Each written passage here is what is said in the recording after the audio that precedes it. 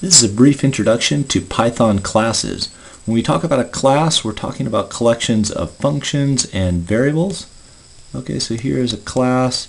Uh, this might have a particular function and also uh, variables or data um, that we have. And then we might have instances of these as well. So let me just use the analogy that maybe our class is going to be a uh, person we're going to define a new person, and then uh, of that class we'll have a um, this inheritance or instance of this uh, class, and we'll call the first person that we create is going to be Eric, and then Jane, and then maybe Isaac. Okay, now each of these are, uh, people are going to have um, particularly customized um, variables. So maybe hair color, um, career, uh, other things that uh, might be unique to the individual. We'll set those up, but then each of these instances, okay, so these are going to be instances of the class um, that are going to inherit all of the functions and variables and data, but then change those um, to be tailored to the particular instance. Okay, um, one other thing that uh, we'll be talking about is scope as well. So there are certain variables that are defined that um, are going to be common to all of the instances or some that are going to be unique to each particular um, instance. Okay, so uh, let's go ahead and open up IPython um, and uh, just go through an example here. Okay, so I'm going to open up the IPython notebook and and once that opens um, I'll go to my desktop and I'll just put it uh, they're just a new Python notebook and I'll call this uh, Python uh, classes. Okay, so I'm going to create a new class in Python. Um, you just type uh, class and then the class name. So I'll do person, and in this um, in this I'm going to um, maybe say this is the uh, name okay of uh, of the person. And um, and I'll just initialize it as a uh, string. Okay so let me insert a cell below. Um, and then to create a new person I can say that um, let's see I'm going to say that uh,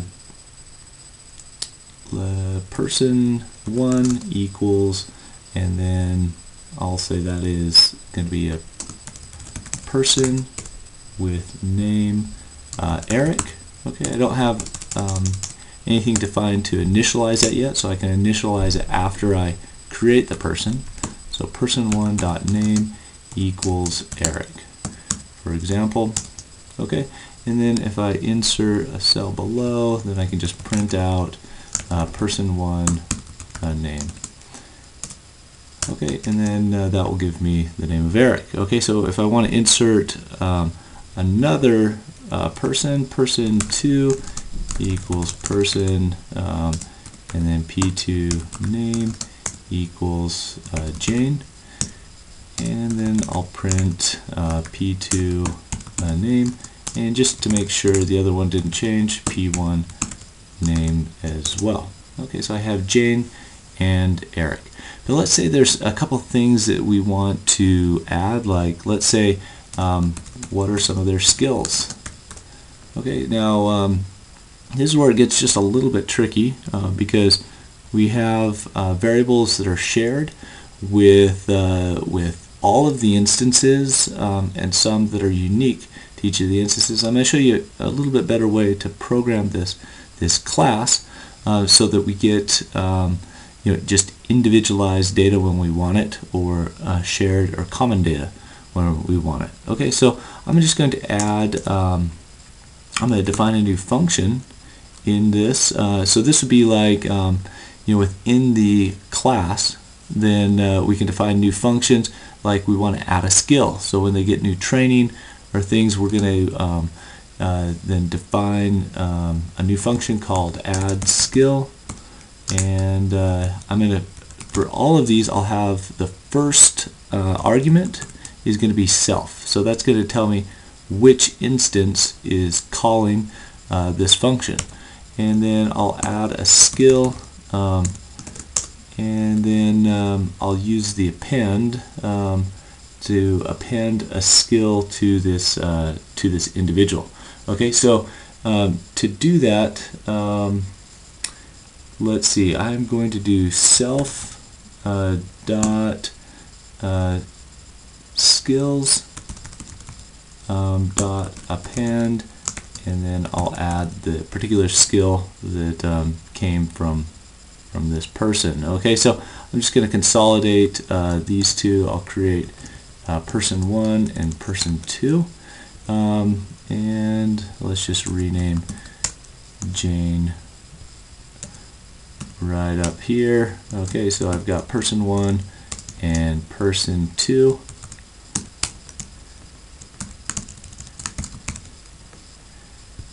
Okay, and then uh, let me go ahead and just delete uh, these right there. Okay, so just clean it up a little bit so we can see um, adding some skills.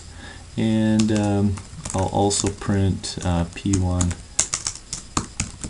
name and then uh, P2 name again. And then what I want to do is add a skill. Um, so I'm going to do P1 um, add skill. So this one I just want to add this skill for Eric. Um, and I'm going to say that um, Eric is going to be an engineer and he can uh, solve uh, math problems. Okay, and then uh, Jane, she is a manager and uh, I'm going to add a skill. She can uh, balance a budget. Okay, and um, and then let me go ahead and print um, P1 uh, skill. Okay, so that would be skills, and uh, let's just see what this does. Okay, so we had an error here. Um, has no attribute uh, add skill. Let me go and I got to run all of these again because I've changed this. Okay, so I'll go ahead and run it all again. So um, P1 skills, Eric now has the ability to solve math problems and balance a budget, but I only wanted that for Jane instead. So um, in the case of name, I was able to uh, change that for Eric and Jane, but um, the way to get around this is I want to add skills for each individual instance. And so I'm going to actually define a new function within my class and uh, if you do the two underbars there and then init and then two more underbars, um, then that is going to allow you to um, describe just initialized um, initialized qualities or variables for each of these um, instances. Okay, and then um, I'm going to have name and then skills. Okay, so then I can add just for each particular instance, in this case Eric and Jane, I can add different skills for each. And then if I want to, um, I can also just initialize um, with their name right from the start. Okay, so um, let's see, I'll do a, uh, instead of that, I'll do, yeah, I'll do name right here. And then this one will be self um, self.name and then self dot skills Okay, and then when I initialize this, it's going to take one argument, which is going to be the name, and then I'll give them some skills later. Okay, so then I don't have to populate it like this. Um, it will run again. So let me go ahead and run all. Okay, and then in this case, um, I have uh, the P1 name and P2 name um, and those are both blank okay because what I needed to do was this name that came in I need to assign that instead of blank right here when it initializes to that name that I input as an argument okay I'll just run that again okay so now P1 is Eric and P2 is has the name of Jane and Jane, or this is um, Eric can solve math problems. And then if I want to add additional skills, let's say um, you know, in addition to solving math problems, Eric can uh, design in a computer-aided design program, uh, in a CAD program. Okay, and then when I run it again, um, then uh, Eric can solve math problems and design in a CAD program. Okay, so um, this is, a, so just to summarize, this is a new class um, where I've defined some variables that were common to all of the, uh, all of the instances. Um, and, but then I also made them uh, specific to the different instances as well. Okay, so to do that, you just define this init. You can put other arguments in there as well. So let's say um, we'll put profession in there as well. And Eric is um, maybe an engineer, and Jane is a manager. Okay, and then I can define a new one as well and so that'll be self dot profession uh, and then I can that becomes part of uh, the instance that I have for each okay? So um, I can print out something that uh, is just a little bit more meaningful here. Um, is um, an okay? I guess it doesn't work. A you'll have to see if it's an or a for each of these. I'll just put an because I know what it is, uh, but p1 dot uh, profession, um, and then when I do that, uh, let's see, I have profession. Um, let's see, I have invalid syntax. Oh, I forgot the plus sign between that. Okay, and another takes two arguments. Okay, I've got to in IPython, you've got to run these cells again. Sometimes you just want to go run all, and then it'll fix it. Okay, so Eric is an engineer, and then I have Jane's name, uh, added some skills, and then I printed the skills for Eric. Okay, um, let me just show you one other uh, way to define some of these uh, properties as well. You can also, um, here you can just add to an instance. So let's say there's something that um, Jane didn't have as part of her property properties and uh, let's say um, we want to inventory what they drive for their car okay? So the car that Jane is going to drive is going to be a uh, Ferrari okay? And then um, I can now print uh, P2 uh, car Okay, so now she's driving a Ferrari. I just added that. Um, if my class that I defined the instance from didn't include that variable, I can just add it here by adding p2 dot and then the variable that I want. Um, but Eric is not going to have um, a car, for example. So if I print uh, p1 dot car, um, then uh, it says there's no attribute car.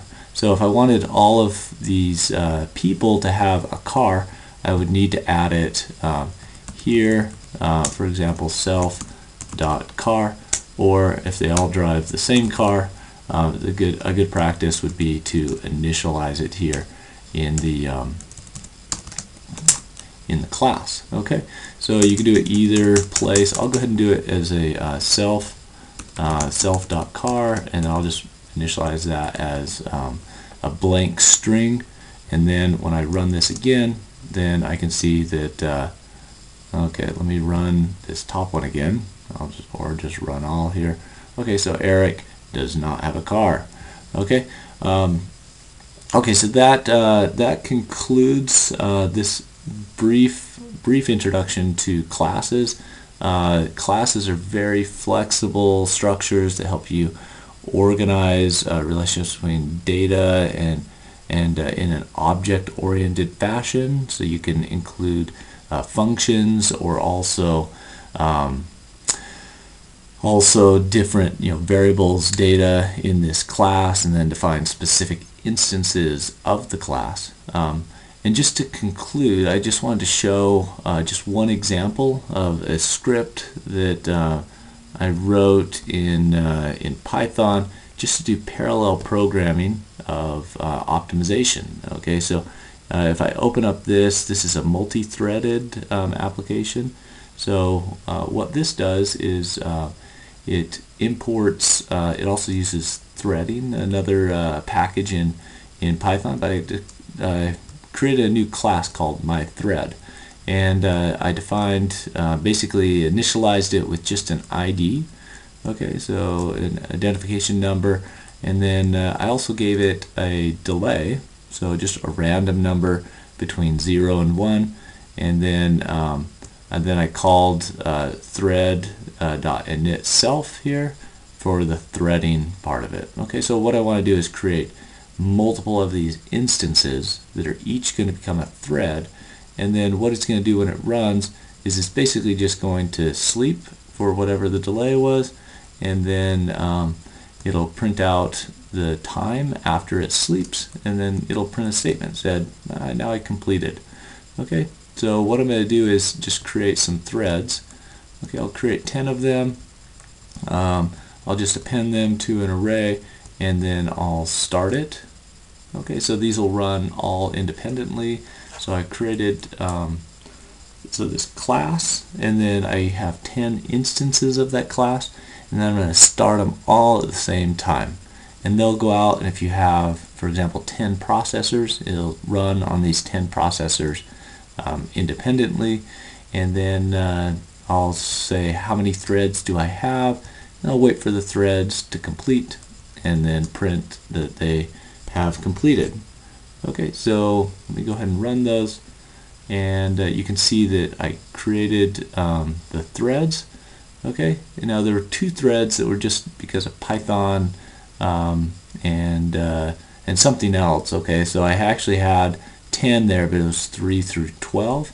And then I just printed out the threads, and then each of those threads ran, and then uh, print, printed a message. Okay, so this is multi-threaded programming with classes. Um, and then, uh, you know, so this is just a simple example, but what I was really interested in doing is developing, uh, you know, for optimization. Sometimes optimization problems take a while to solve. So I wanted to set this up as a multi-threaded application to do parallel processing for um, for optimization. So I did this. Um, here I have, uh, you know, so it's kind of a long application. But what I want to do is just show something real that's uh, running. So this is going to run a, a, number of optimization problems. It's going to run these nonlinear programming problems on a server that has 64 CPUs and uh, be able to utilize all 64 CPUs. And then when it's done, it ran all of these optimization problems and then showed me um, you know the results for all of them. If I would have run these um, individually, it would have taken um, you know a long much longer time. So um, so this is an example of using a class okay? And then I had individual instances of that class that ran an individual optimization problem. And because I was able to design it as a class with these threads um, I could do this parallel programming. So just a, a, brief example of the power of classes and how we can use those um, to program and, and be a little bit more Uh, efficient.